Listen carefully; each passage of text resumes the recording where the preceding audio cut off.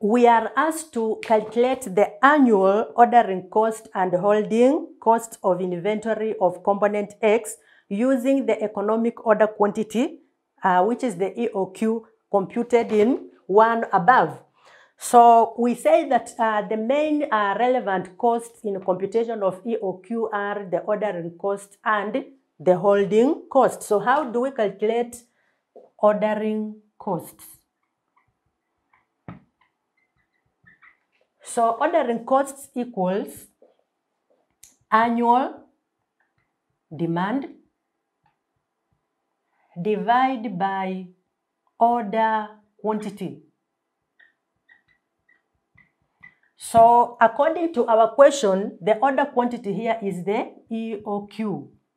Then we multiply by the carrying cost per, per order, which is denoted by CO. So mathematically, this can also be written as uh, Q, uh, sorry,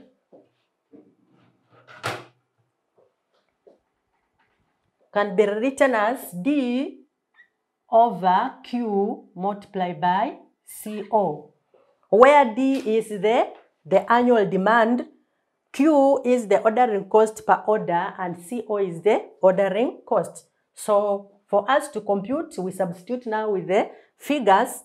The annual demand is referring to the annual purchases, which is 150,000 components.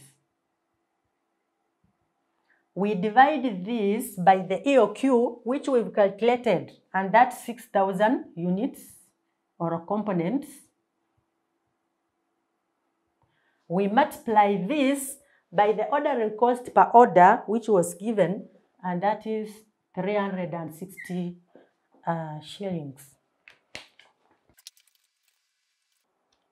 And this will give us uh, 9,000 shillings. This is our ordering cost. We are also uh, supposed to calculate holding or carrying costs. Uh, holding costs. So how do we calculate holding cost? This is average stock. Uh, multiply by carrying costs per unit per annum. To calculate this mathematically will uh, be the same as Q over 2 multiplied by CC. So average stock is simply the EOQ or order quantity divided by 2. And then we multiply by the carrying cost per unit per annum. Uh, this will be equal to, our Q here is 6,000.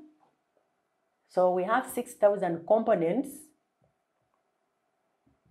divided by 2 multiply by carrying cost per annum is given at 3 uh, shillings.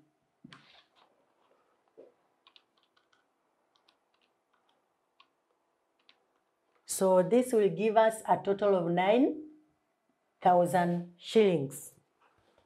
That was Roman 2 of the question.